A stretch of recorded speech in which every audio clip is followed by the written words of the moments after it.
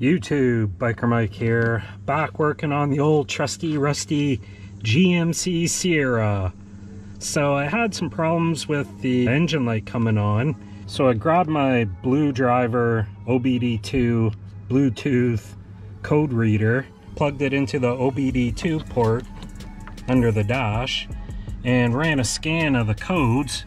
Now if you don't have one of these, uh, you can get them on Amazon. I think they're only like a $100 and they're definitely well worth the price. They can uh, scan any OBD2 compliant vehicle. So pretty much everything that's out there now. And it can also do the airbags and anti-lock brake systems and reset those lights as well. So I ran the scan and I got a couple codes well, a bunch of codes that were all related to the oxygen sensor. Now, in particular, it was on the bank one and bank two, sensor one and sensor one, which is the two front oxygen sensors that are located before the catalytic converters. So one had no activity, which I thought was pretty odd. So I went underneath my truck to have a look and this is what I found. So here's what I found under my truck. The uh, Bank One Sensor One wire harness had actually come undone and lowered itself down onto the front drive shaft that comes out of the transfer case. And you can see there in the center of the picture the black wire with the coating ground off and it actually exposed that wire there. So with that one being the way it was, I knew I had to replace it. And because I was getting a code for both the upstream oxygen sensors, I figured I'd do them both. So I ordered two. And I'll put a little link down in the description for this uh, OBD2 reader and the oxygen sensors as well. And I had them both replaced. After I had them replaced, I reset the engine light drove home, everything was fine. Went to uh, Wendy's. While I was in the drive through at Wendy's, the engine light popped back on. So I got home, wolfed down the Grand Slam burger, broke out the old Bluetooth OBD2 reader, plugged it back in, ran another scan. This is what came up.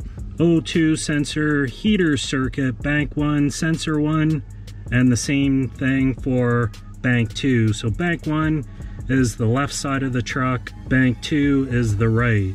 I got thinking about it and because it was the circuit, I was wondering, well, maybe that wire that touched the drive shaft may have shorted out and popped a fuse.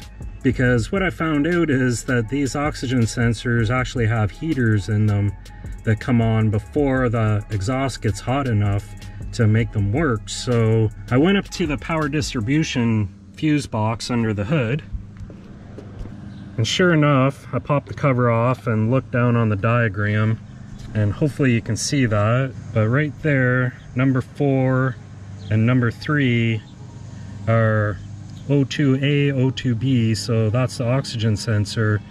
And if you go up here to the little map of where they are, number three and number four, and right here in the distribution center, right there and there are the two oxygen sensor fuses. So I pulled out those and sure enough, hopefully you can see that the fuse was blown. So all I did was actually had a couple spare fuses, popped it back in there, reset the engine light, and sure enough, everything was fine. So there you go guys, another little quick little how-to video on how to diagnose some oxygen sensor issues you may or may not have. But hopefully that helps you out. If you like the video, like the video. And like I said before, those Bluetooth OBD2 readers called the Blue Driver, you can pick one up on Amazon. They do do quite a bit and they also offer upgrades on the software so you can download and upgrade your app on your smartphone and I'm pretty sure they work with both Android and iOS. All right, so thanks again, guys, and Biker Mike out.